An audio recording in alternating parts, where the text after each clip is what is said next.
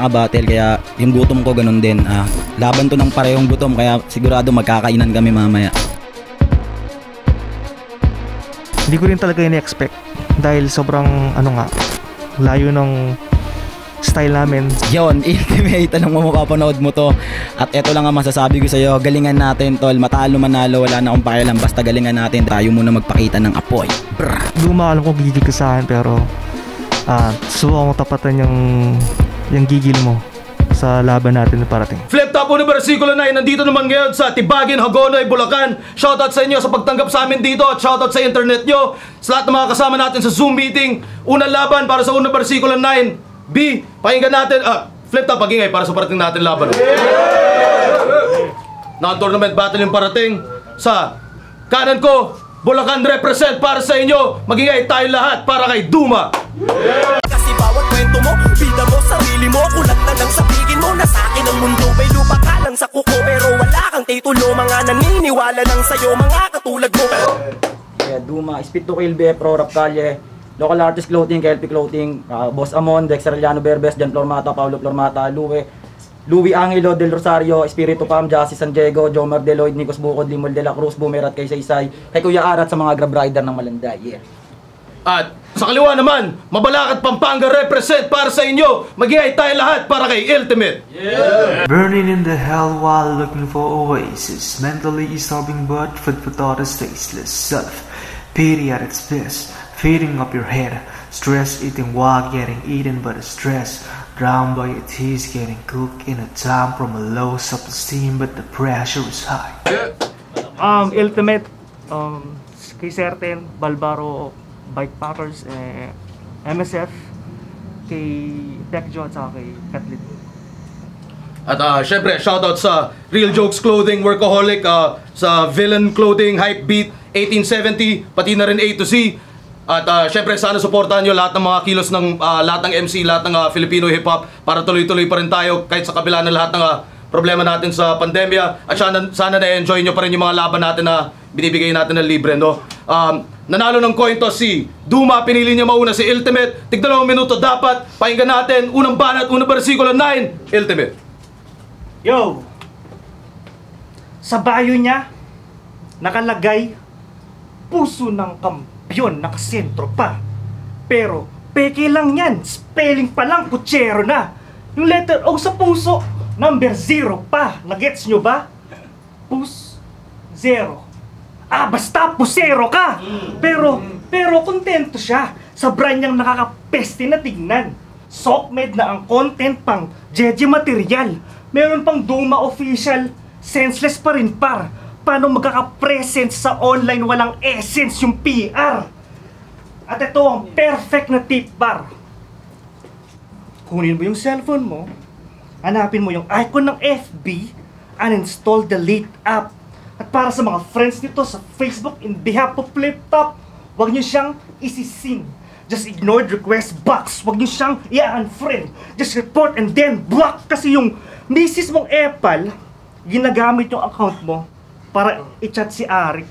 Fuck, ang toxic. Sinachat si Arik para mangansel ng battle ng gaga. Hindi ko alam kung under ka sa yung partner lang yaka o di kaya cheap tactics para yung kabattle mahasil lang ata. Either way, yung siya pussy. Under the saya, ang pangit kasama. Nasa corner mo palagi parang coach.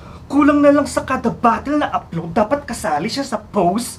KSP, kulang sa pansin ng pangit ng approach. Kulangot sa pader ba, lakid na nag-choke. At yung mga lait niya at jokes, mga lait niya at jokes, walang dating sa battle maski si Fonger unmatch. Yung delivery maganda, pero kung yung concept palpak, mapupunta lang sa wala na parang order na prank. Shit ang content na parang Corvette na vlog. OA mag-rap. Agresibong tanga, nakakagago na kasi.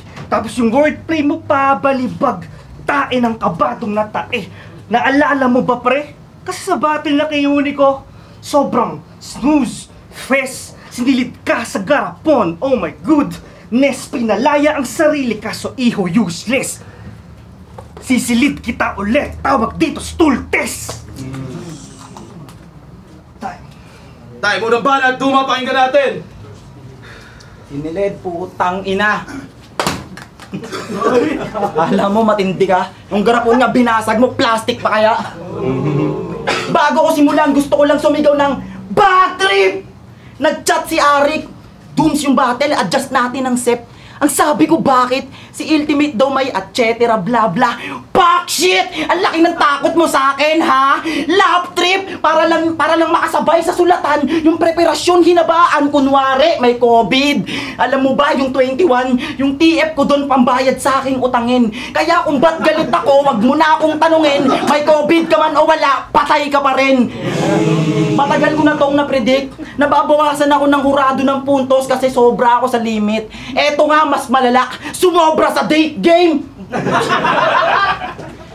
Ang daming nagsabi sa akin, hindi daw kita kakayanin. Sino ka para hindi talunin? Tao ka lang din, halimaw. Puta ako yun. Walong buwang di nakakain. Sabek ng lumamon, parang si Ryzen, matagal na tong gutom. Uhaw sa atensyon, dalawa kayo ni Beatroom. Panay good luck dun sa J Black. Sa di nila kadibisyon, tumpak. Kaya nanalo yung Lebron dahil sa division deliver. Wala ka nun ungas, mas lalong wala kang barang malakas. Puro rhyme scheme, taglish madalas. Sige pasok sa rehas nang makamit mo yung bars. Ultimate, walang word na ganon. Nilagyan mo lang ng il. Parang illusion, pues yung il na nakain sa name mo, ilalabas ko. Ilalagay ko sa ilalim ng paa ko. Kada hakbang palapit, maiil na maiil lang to sa magkasunod na kabiguan. Il na ilang tatanggapin mo. Luslos, wala ka ditong maaaning. Tamang may il ka nga. Kasi di ka magaling. Ewan ko ba kung ba't hirap sila. Ang guluhan pangalan mo. Ako kumamot lang. Ang gulo pangalan mo. Nakalaban mo si Goryo. Oh, Nax naman. Oh, Lats naman ngayon, anong pakiramdam na pinabubugbog ka sa parehong taga Bulacan? Marahil di mo naisip o nagawang ipagtanong. Pinahirapan ka niya, Chong, mula kay C9, malolos. Nagawa mong tumalon, pagbagsak Santa Maria, sa goryong talas bumaon. Ngayong palapit ka ng palapit sa akin, may kawayan na kasalubong. Nakakapanghina lang, mahihina yung sinalang. Mga hindi nang hinayang, isa buhay ay sinayang. Dapat di sinali yan, di naman ginampanan. Sa ginawa mong yan, malaking kasiraan lang ang naging kabuuan. Alam ko na, yung alambre sa motor ni Lil Wayne kinuha niyan. Talagang alambre linyahan. Kaya pala si Enigma sa tour na sinampayan ultimate. Siyam na letra ang bumubuo nun. Bilang wakas, sige tuldukan na yon. Pangalan mo, kada letra, nagawa kong sa Latin. Ultimatum, Latin, Wat wakas, ultimatum. Di mo na gets, di ba? Palibasa, wala kang laptop na dala. Stupidong rapper. Stupidong rapper. Karakter mo sa liga. Computer sa mga di nakakaalam. Keyboard warrior yan. Rap typer samahan. Ulul hanggang dyan ka lang. Wala ka pang alam. Nakikipagpatayan kami sa live. Ikaw naman naka-online. Kaya hindi mo ramdam. Ang gantong pakiramdam. Pag nag-choke ako sa battle, yung freestyle sinisingit.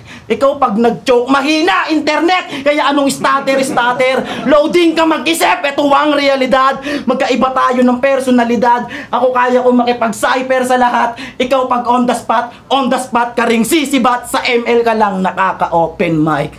Tayo. Alam ba natin, Yo! Ultimate, pakinggan natin. Nagbalik pa tong tubol sa pagbitaw ng gagong to. Pero sa pagbukas ng garapon, mas sumingaw yung baho mo. Diba? Inagisa mo ng barya si Supremo, sabay, limang piso Bonifacio. Hataw na hataw sa naging berso. Eh di ba't ginamit na yan ni Apok? Tanaw na tanaw sa disenyo. Yung job description niya nang ibabaw sa kaengkwentro. Construction worker ka nga, nakahalaw sa arkitekto. Malayo pa mahal na araw sa ating duelo, pero may mapapakong magnanakaw at karpintero. Fucking klepto, buong 4 bar scheme gagamitin at imbes na i-rebut to dapat mong gawin ay aminin magsorry ka kay Apok pagkatrong practice yan sa sining at pag pinagalitan ka ng arkitekto yun ng constructive criticism kahit pa mag-team building sa liga, di ka dapat pinapalaro. Hindi baril ang tinutukoy pag may binakalan to. Akala mo, birador, na may itutumba? Itong pinadala nyo? E tinatawagan ka lang naman kapag may pinapatayo. Iisa lang ang, ang, ang anggulo. Pero mga lait gatimba, construction worker lang ang topic sa gitna. Si Husky galit na. Si Bitrom bad trip na rin siya. Kasi inex kasi inexploit ko kanyang labor parang kapitalista. Tang ina. At alam kong sa paggamit sa bika, sa pagpipino ng buhangin ang natutuon sa'yo, pagkat paborito mong gawain magpagulong ng bato, saktong, saktong ayaw tumanggap ng talo, pagka-addict na lahad, di mo magpe-preserve yung karir mo kahit alatin ng sagad. Itong linebiter pag natalo, ang kapal din ng balat. Nagre-reklamo sa luto, sino ba yung maraming kinagat? Sa reklamo ka sikat, ba't di mo palitan si Tulfo? Tatakalan tong panis na parang kanin na binuro. Inapuyan ng kapangpangan tong pagkain na, na niluto. Tsaklamon mula sa may kawayan, tang ina binulo. Tayo, mga banat, Duma, pakinggan natin. Kinapos ang puta. Kinulang yung banat. Yun na ba yun? Yung isa't kalahating buwan mong preparasyon.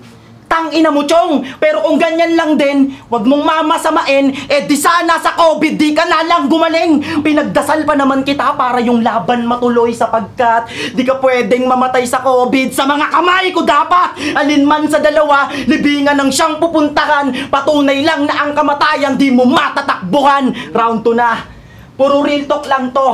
Ang nagbigay ng info, si Bagsek pa mismo. Bumili lang ako ng chili garlic, inuto ko. Nagmukhang, nagmukhang adik ako. Kasi yung gumamit kay Deo, ginamit ko. At ang sabi, yung nakaraan mo, punong-puno ng salimuot.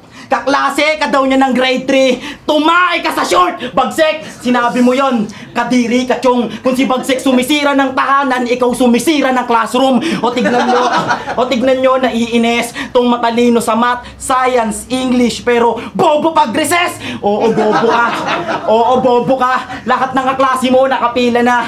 Ikaw nakaupo pa. Oo nga pala, tumae ka! Kaya, kaya di makatayo, yan ang sinasabi ko. O kung sinasabi ko, uulitin ko ulit. Tamang sinasabi ko. Kasi yung puwet mo malagkit. Ang, ang galing, ang galing no?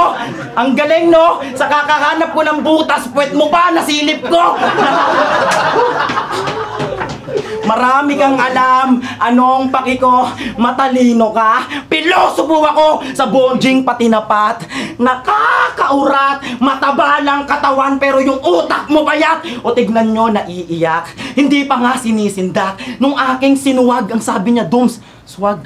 Dooms, Swag, dancer ka ba bro? Patingin nga step mo, yung tugtugan nyo alam ko, galawan mo, dito na mahihinto, kasagwat ko si Arik, Diyos ko, o para mas klaro, kami kasi ang dahilan niya na huling sayaw mo, nakita mo boy, ganun magpakita ng apoy, puro recycle, recycle, ikaw nga tong paulit-ulit ah, paulit-ulit sa Nahinto tuloy. Na-trauma na ako, oy! Pag-recycle, di ko na tinutuloy! Luma na yung angel mo, katapat mo, bagong ako. Ray sa sigera, bansag sa'yo ng goryo. Pagdating ng panahon, maiintindihan mo. Nagpahaba ng hukbo para sa buyo. Lumayo, pag binasag ko tong battle, dun ka natibo! Anong akala mo? Kaya mo ako? Porket September 11 ginanap, mauonsi mo na ako. Mauonsi mo lang ako kung sobra daliri mo. Masakit? Masakit? O bakit di mo namnamin? O di mo amuyin? O si Gago na booking, walang panlasa pang amoy, balik sa ospital, ultimate. Hindi ka pa magaling. Uling ba natin, Ultimate? Pakinggan natin. May pa-onsi-onsi pang nalalaman. Nagamit ko na yung kay Beatroom. Kaya huwag kang feeling battle rapper na proud. Sorry, Repa Pips. You're just biting around na parang Olympic medalist. Tapos ang daming inimbento. Puro kwento. Nag-iimbento ng bara. Barbero ka ata. Mas I'll put you in a bag, man. Benjong Malaya! Tapos yung mga rebuttals mong panghopong argumento laban sa pilosopo na nerdo, pagmumukhang tonto sa pagbalikto na parang niloko ka ng ex mo. Yung flow mo, ang cringe tol. Punchlines, common at simple yung akin winning combo parang sa Lotto ay Victor pagka spit ko may punch Rondo to Chris Paul at oo ay recall First round exit pero ba't ako mahihiya? May dalawang tournament ngayon, dapat lang mainggit ka. Nangailangan ng 32 MCs tapos di ka naimbita. Samantalang nakapag-tour na yung L kahit na pandemic pa. Masasabit lang siya sa bracket kung siya'y naging tinga. Knockout din sa first round sa ring kahihiga. Yung mukha mo sa canvas ako ang pipinta. Kahit mag-break a leg ka pa, walang mahihita! Dapat siyang mag-explika sa tropa niyang si Saynay nakaparty niya at guild sa battle rap ay snitch. Katak sila ng shit. Si Sinay niyong may paresan sa street pero siya tong nangapital sa beef. Safety, barrier sa jeep, kaplastika ng trip. Tang ina ang chip gayong aking napagtanto. Sa battle rap lang nagkaroon ng katapatan to. Busaksakin sa harap. Tatagos sa likuran ng katawan mo na kahit magtawag patay din sa saksak ang sinumang sasandalan mo. At sa mga naunang laban mo, meron pa siyang slogan na 48 lines pinagkasya sa 3 rounds na puro lame rhymes ginawa niya. Hindi to fair fight. Binabala niyo wave file sa sirang plaka. Nagre-repeat ng bara. E pang trash bin lang naman, lines mong support non-biodegradable at biodegradable. Keep in mind yun yung thought. Imbes i-segregate na pag-combine mo yun bot. Recycle ang material, style mo bulok! Bugok. Uling ba na, Duma, pakinggan natin. Hmm, kinain mo rin yung dulo mo. Sinabi ko nang di na ako nag-recycle eh. Binasura mo sarili mo. Saka, putang ina, intimate. Itodo mo naman. Pakilang. Pakigalingan, ang sabi ko sir, kahit di na sikat basta pang banatan. Ano to? Boring kalaban? Hindi ka pang battle, pang interview ka lang. Ang nag-adjust ako na nga rin. Sulat di na diniin, sa performance pa lang kaya na kitang patayin o kahit di sumigaw o gumalaw. Sus, mabigat kadali niya, madieng idinikta, bawat kataga ko kumikilos. Laro sa salita, salita sa laro. Anong kahulugan? Nahulog ka na sa paraang di mo magagawa. Nakita nyo, best, si Bobo Panes, kaya kong magmabagal at magmabilis. Umatras ka na, sa estilo mo na, wala pang lumaway. Kahit isa, kaya nga inuusog kita. Oo, tumutugma ka, pero di magkatunog. Ganda ng pila ng linya, tapos ang kasunod, walang pasabog. At para ikaw ay mahubog, pinag-square niya tayo sa bilog, gumising siya ng nagpapatulog. Akin tong buwan, mananampal ako ng bituin, utak ko ay kalawakan at malalim, di ko kayo balak abutin. Ako'y mabuting kalaban na may masamang kalooban. Ang makita kang naghihirapan, masaya akong may nasasaktan, nakakapagtaka. Putang ina! Paano ka natawag sa tawag ng tangalan? Wala kang kanta! Ito ang katotohanan ng masakit na kahit anong lupit o bilis mo mag-isip habang buhay kang magkakabol sa beat.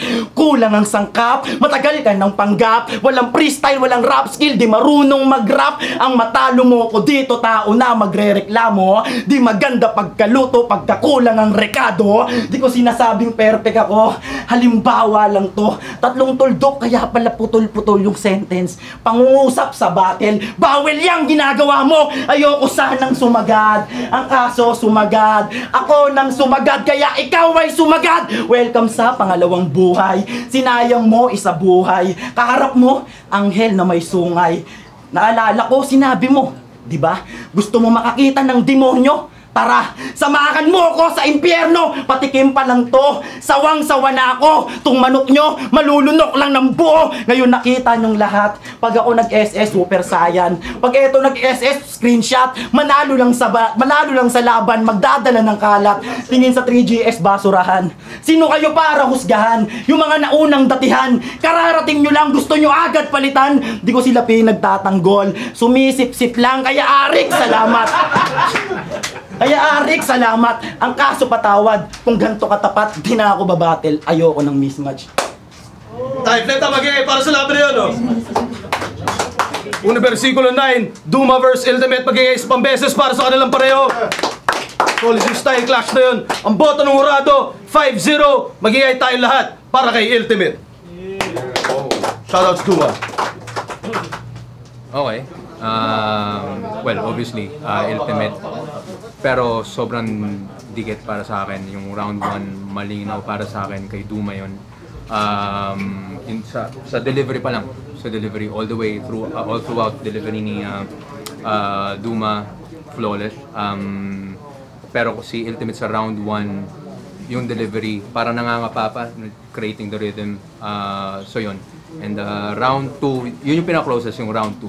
Um, uh, pinaka-strongest rounds nilang pareho. Doon ako nahihirapan sa round 2. Um, pero nag-lean towards sa preference para sa akin sa overall writing na lang. And uh, round 3, malinaw kay Ultimate naman. Uh, doon talaga yung uh, kumbaga full force yung delivery. O, kay Duma naman, parang naubusan na ng angles eh uh, sa round 3 para sa akin. Pero so- sobrang close eh. Pero ayun, slight edge kay Ultimate. Yun. Ayun, um, round 1, parang kinakapa ko sila pareho. Medyo magkaiba eh kasi um, ano eh, mas maganda mag-deliver si ano si si Duma. Kumaga magkaiba sila eh. Kumaga si Duma kasi ang lakas ng delivery niya hanggang round 3. Pero si ano si Il may may aabangan ka sa kanya lagi. Kumaga may, meron kang matatanggap, meron kang mabubusog ka sa mga maririnig mo sa kanya kahit na hindi ganun kagaling o kaganda yung delivery niya. Pero ano, um, mahirap i, i ano i, i-judge kung doon mo ibabase sa deliver.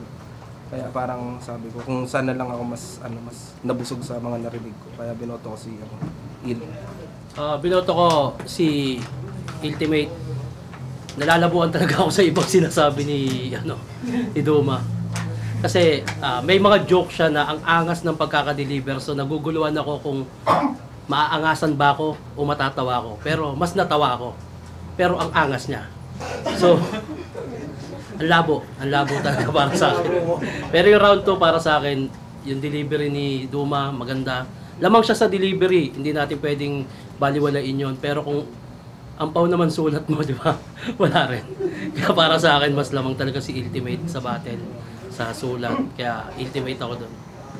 Yan yan. Bagsik. ah, per round, syempre mas lamang yung sulat ni Il sa all three rounds. Tapos yung round 2 siguro, medyo dumikit ng konti si Duma, pero wala kasi sinabing natake sa short. ah, ano.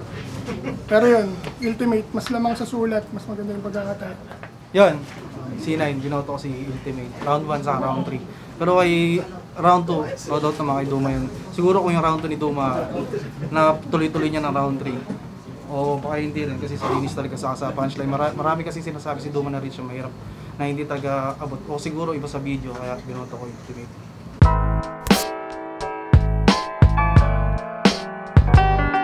Sobrang litaw yung ano yung contrast ng style sa delivery sa sa writing yung yung, yung diferensya namin pareho Napunta yung laban kay Ultimate dahil sa yung round 3 ko, nakalimutan ko yung gitna tapos na pagka nagkagulo-gulo dahil kakaisip ko ng rebat, hindi ko pa na-rebat tapos napasok ko agad.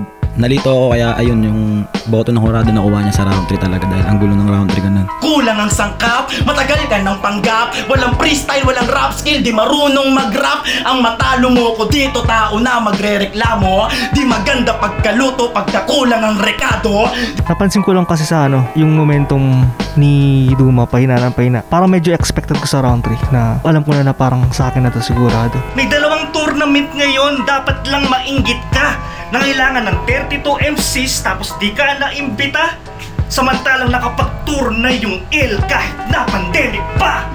Masasabit lang sa Bala ko maglabas ng kanta ng grupo namin. Siyempre subscribe na rin kayo sa YouTube channel ko, Duma Official. Yan, antay lang kayo sa mga bagong kantang lalabas namin. naging active lang sa circle ng flip top and ayun music music din Yun, ah, sa lahat ng nanonood sa akin, maraming maraming sa- salamat sa inyo sa hindi nyo pagsawang suporta. Yun, patuloy pa rin nating suportahan ng Flip Top. Yeah! salamat sa mga ano sa mga, mga sumusuporta sa amin man. kahit na medyo no namer pa kami pero nandyan kayo since day one Ah, yun lang gusto ko lang kayo pasalamatan